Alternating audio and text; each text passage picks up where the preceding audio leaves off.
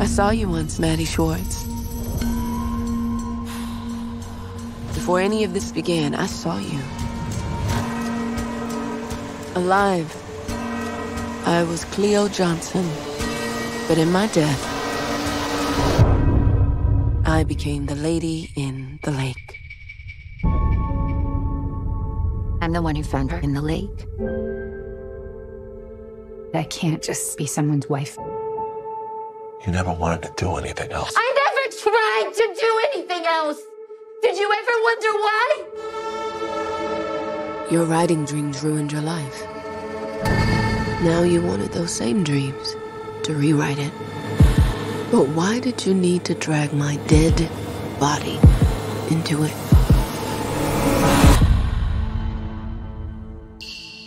How did you know? Know what? Where to find her. My wife is a lot of things. There's one thing that she's not. That's foolish. This is not your high school newspaper, Maddie. People's lives are at stake. So what you gonna do? You gonna get that money and leave everybody behind? I don't know. I don't know. Dreams To dream the impossible dream. To bear You wanted to tell everyone's story, with unbearable sorrow. but your own.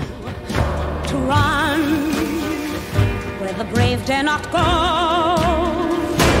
This is my